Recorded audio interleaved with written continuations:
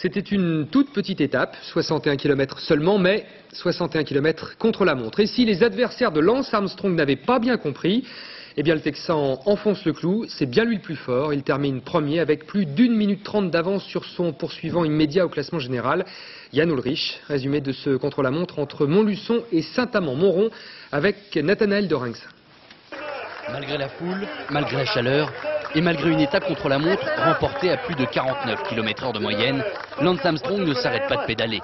Il en faudrait plus pour empêcher l'Américain d'aller sur le podium chercher les lauriers de sa quatrième victoire sur le Tour cette année. Je fais le maximum, je connais le, course, le parcours très bien et je suis encore très motivé. Je, pense, je crois c'est très important pour le, pour le maillot jaune faire le, le, final contre le monde à bloc. À bloc, du début à la fin. 61 km menés à un train d'enfer.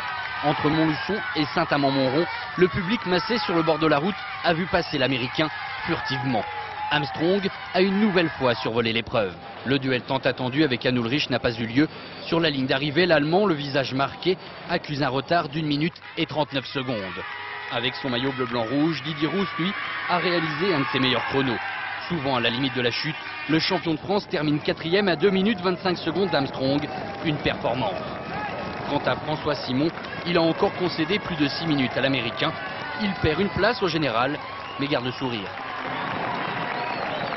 Si on m'avait dit au départ, tu porteras le maillot 4 jours et une sixième place au général, je signais tout de suite. Pour la troisième année consécutive, Armstrong va remporter le tour. Seulement cette fois, il n'a pas attendu les Champs-Élysées pour faire la fête en famille.